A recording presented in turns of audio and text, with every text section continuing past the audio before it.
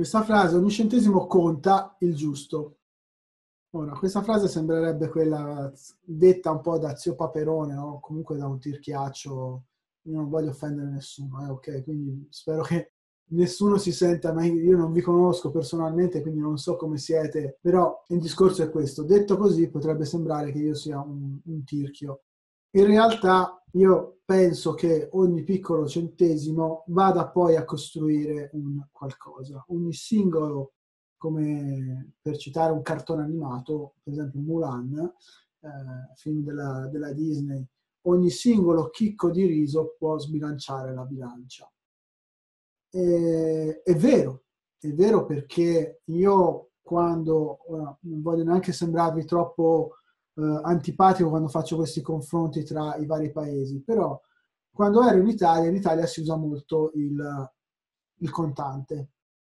Quindi io prelevavo, prelevi, quando sono in Italia prelevi, vai a prendere un caffè al bar, paghi un euro, un euro e venti, fai colazione, 2,50 euro, 2,40 euro, quello che costa, e ovviamente hai delle monete, ok? Oppure vai al supermercato, ti vengono fuori quei conti con delle cifre, per esempio eh, 60 euro, 95,98 e ti ridanno i centesimi da 2 euro. Così. Io penso di averla messa online su, sul mio profilo di Instagram, ma io ho iniziato qualche mese fa, qualche mese, cioè, l'estate scorsa, a riprendere un'abitudine che avevo un po' lasciato. Un'abitudine che avevo un po' lasciato perché io quando eh, ho smesso di fumare la, la terza volta praticamente, eh, la sera arrivavo a casa e tutti i soldi che avevo in tasca a livello di, di monetine le mettevo in un barattolo.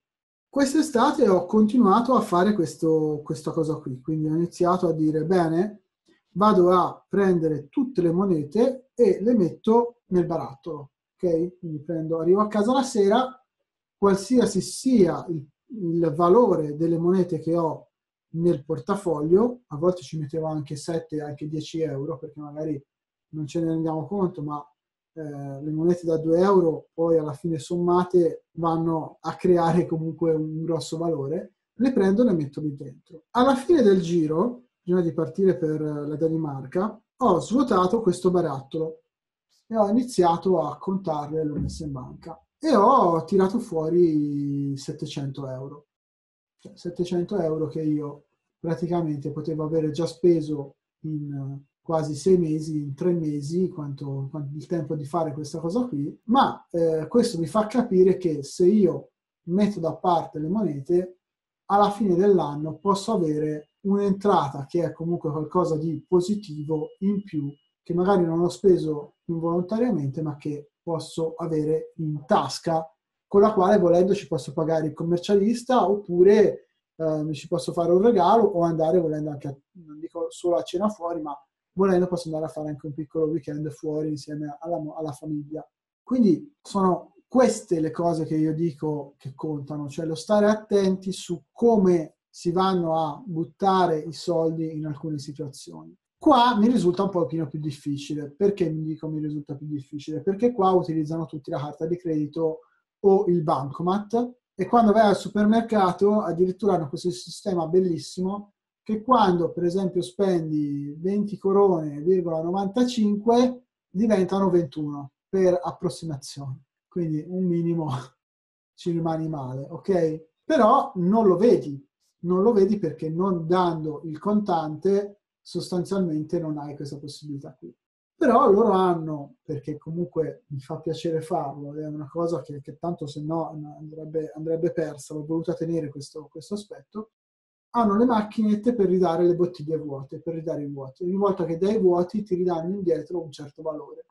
Consegnando, per esempio, una, 4, 9 bottiglie, 10 bottiglie, ti ridanno indietro tipo 20 corone, che te le danno ovviamente in monete, perché 20 corone è una monetina. 20 corone sarebbero all'incirca, sono una bischerata, sono circa 2,80 euro, ok? Quindi uno prende queste 20 corone e volendo le riutilizzi per altre cose, ci vai a prendere anche un caffè, ok? Quindi è un modo per far girare comunque i, i soldi qui. Naturale che quindi quando uno ha questa mentalità ha anche la possibilità, volendo, uno può dire, magari invece di metterci centesimi, sai che c'è, io eh, c'è un sistema che è quello che, che, utilizzano molto le casalinghe inglesi, che è quello delle 53, 57, mi sembra 53 settimane. Cioè ogni settimana mettono da parte un, un valore sommandolo di uno. Cosa vuol dire? Vuol dire che questa settimana loro mettono da parte un, un dollaro, un euro, ok? La settimana dopo mettono da parte 2 euro, quella dopo ancora 3, quella dopo 4, quindi alla fine del mese te vai a mettere da parte 10 euro, ok? Il mese successivo diventano 11, 12, 13, cioè sempre così, no? Aumentando di settimana in settimana. E alla fine dell'anno riesci a mettere da parte circa 1500, 2000, 2000 euro.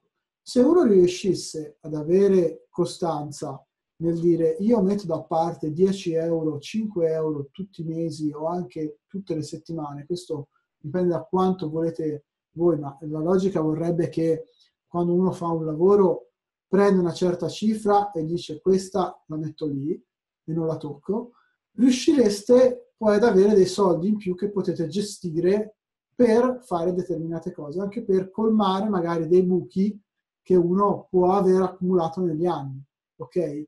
perché non tutti siamo dei santi, non tutti magari riusciamo, che ne so, a pagare una bolletta in tempo e di conseguenza magari ci viene ritardata, ci viene richiesta, oppure un F24 magari eh, uno non lo paga e dopo due anni vengono richiesti i soldi di quell'F24, allora uno lo dilaziona e cerca di pagarlo in quel modo lì. Questo io intendo dire che ogni centesimo conta, quindi bisogna stare un pochino attenti senza avere quella avidità ma razionalizzando, cercando di capire che magari una cosa comprata così perché ho spesa così, ho buttati via dei soldi in questo modo, magari in quel periodo non, non è il caso, quindi magari accantonare per magari un domani. Questo è un po' il, il senso di questa frase.